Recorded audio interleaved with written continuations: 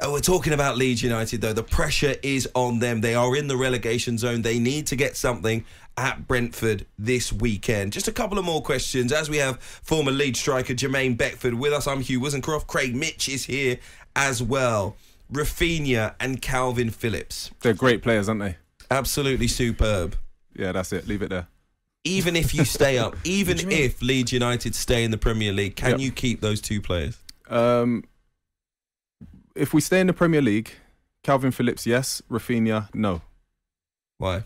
Um, I think Raphinha is brilliant, and I think he's destined for massive, massive things. I think with everything that he's done for the club so far in his time in the Premier League, he's he's looking for the next step in his career, and I get that.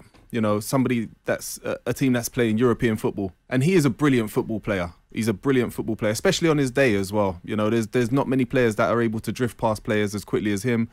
He's rapid, he's sharp off the mark, he's got a banger of a left foot as well. So, you know, it would be sad to see him go, but also the money that that brings in will be really welcome to reinvest in the squad and, and reinforce the squad as well. As we've seen over the last year, the last two years even, the squad, when the first 11 are, are injured, is thin, you know, and that, that's something that needs um, needs looking at. And I think the, the, the finances from that Raphinha sale would, uh, would cover it. Okay, and Kalvin Phillips just wants to stay because he's Leeds through and through, yeah? Leeds through and through. What do you think, Craig? Nah, he's got ambitions as well. He's got ambitions He, as he does, he does. Money talks, obviously, but, you know, knowing him as a lad, he wants to play for Leeds as long as he can. if do. Leeds give him the contract, he'll stay, won't he? Um, yeah, Yeah.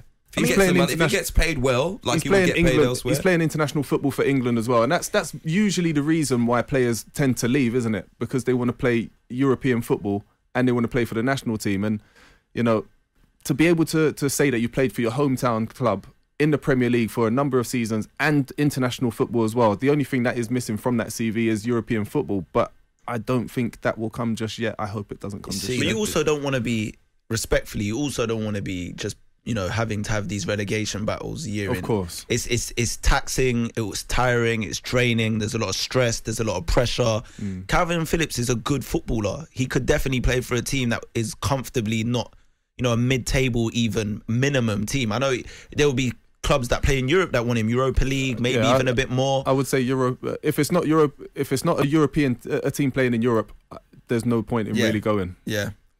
Well, yeah. I, I listen. I think who knows what, what happens with Declan Rice, West Ham United might be a possible destination there in Yeah. Europe. I think for Kalvin Phillips, it's a World Cup year, Mm. and I think for a guy who's been playing in the Championship not too long ago with Leeds United, of Yeah. course, you know that dream of playing at a World Cup for England, what two and a half, three years later. He probably never thought that was going to happen, and for him, it again, it might not come again. You look at Jude Bellingham coming through. Yeah. You got Harvey Elliott. You got, you know, there are no other midfielders, young, hungry midfielders coming through. You don't know when your opportunity will come.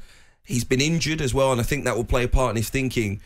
It's either now or never, I think, for Kalvin Phillips. So I think you hmm. say Raphinha's going to go. I think you're going to lose them both. I'm Nah. not sure it would be the worst thing for Leeds United if they get good money for both of those players to reinvest in the squad going forward.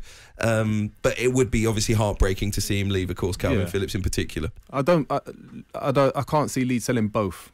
I can't see Leeds selling both, and I'm, I'm pretty sure Raphinha more so than than Kalvin would be the one to leave. It's all depending on if they obviously stay up or go down as well. Of course.